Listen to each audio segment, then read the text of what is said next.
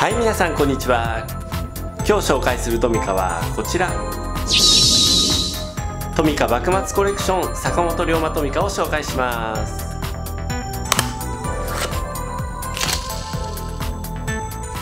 はいしっかり見ていきます。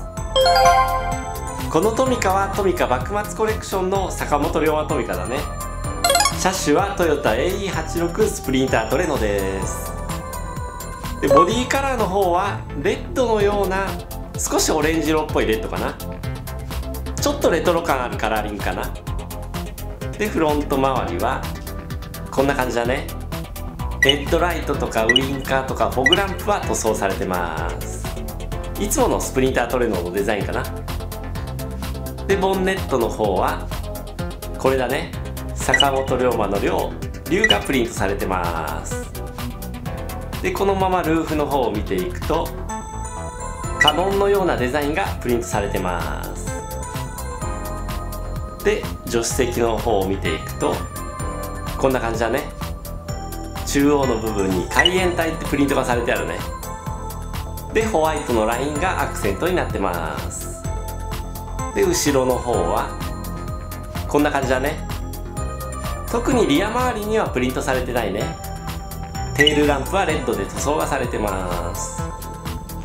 で運転席側はこんな感じだね。こちらの方にも海援隊ってプリントされてて助手席側と同じデザインになってます。で上の方を見ていくとこんな感じだね。結構シンプルなデザインだね。でタイヤの方はサスペンションがついてます。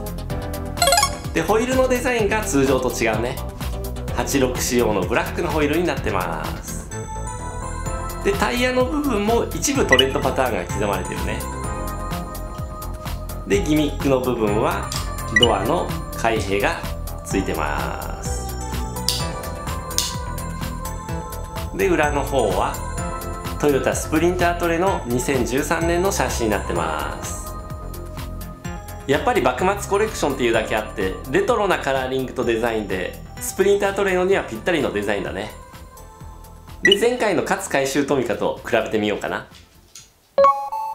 こんな感じだね。勝回収トミカで坂本龍馬トミカだね。どちらのモデルもレトロな感じで幕末トミカにはぴったりだね。箱の方はこんな感じだね。正面のパッケージにスプリンタートレーノの写真があってこの部分に坂本龍馬トミカって書いてあるね。で周りのパッケージデザインは今までの幕末コレクションと同じです。で横の方はこんな感じだね。で後ろの方はこんな感じになってます。はい今日はトミカ幕末コレクションの坂本龍馬トミカトヨタ AE86 スプリンタートレノを紹介しました。でトミカ幕末コレクションもこの坂本龍馬トミカで完結だね。この2つのモデルはすごく人気だったね。早くにオンラインショップでは品切れになってたもんね。でトミカ幕末コレクションは書店限定販売なのでオンラインショップのオムニセブンとかいい本で購入することができます。